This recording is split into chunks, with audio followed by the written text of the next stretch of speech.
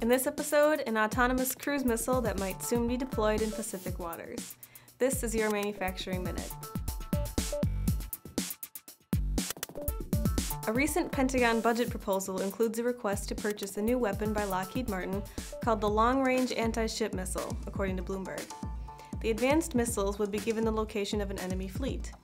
After launch, however, the missiles use artificial intelligence to make decisions crucial to hitting their target.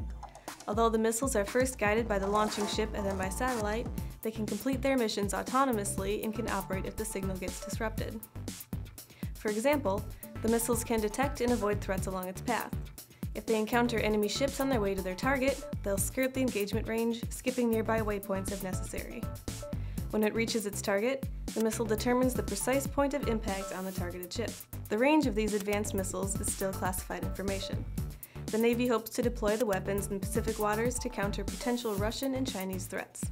Should the Navy deploy these advanced weapons in the Pacific? Will more weapons be armed with AI in the near future? Email us or comment below. That's all the time we have for today, but tune in every weekday for your next Manufacturing Minute.